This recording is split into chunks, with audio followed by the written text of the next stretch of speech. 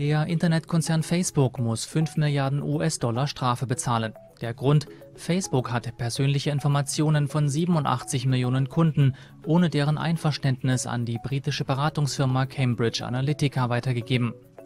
Durch die Strafzahlung entgeht die Online-Plattform einem Gerichtsverfahren. Die US-Verbraucherschutzbehörde FTC kritisierte, Facebook habe Millionen von Menschen getäuscht. Zudem habe der Konzern Telefonnummern vermarktet, die ihm die Kunden aus Sicherheitsgründen anvertraut hätten. Facebook, das seinen Gewinn vor allem mit individualisierter Werbung verdient, muss nun strengere Datenschutzrichtlinien implementieren. Außerdem muss Firmengründer Mark Zuckerberg künftig alle drei Monate schriftlich bestätigen, dass Facebook die Privatsphäre seiner Kunden achtet.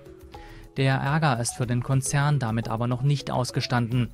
Das US-Justizministerium prüft derzeit in einem weiteren Vorgang, ob Facebook seine Marktmacht missbraucht hat, den Wettbewerb verzerrt, Innovationen erstickt und anderweitig den Verbrauchern geschadet hat.